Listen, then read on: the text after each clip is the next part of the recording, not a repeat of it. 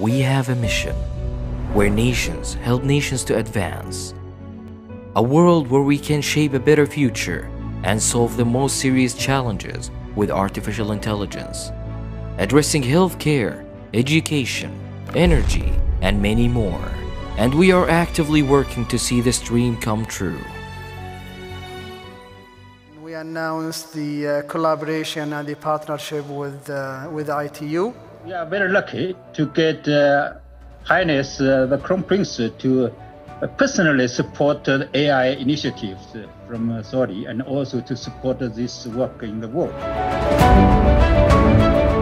I would like to thank you for taking the time and really thank you for uh, this special moment of signing a memorandum of understanding with, with IBM. We're looking forward to this partnership.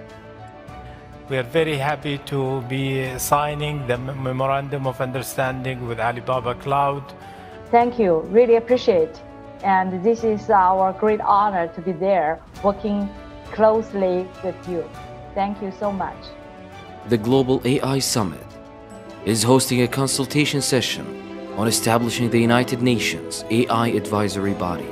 It's time to get together, shape the future of AI. Together for the good of humanity.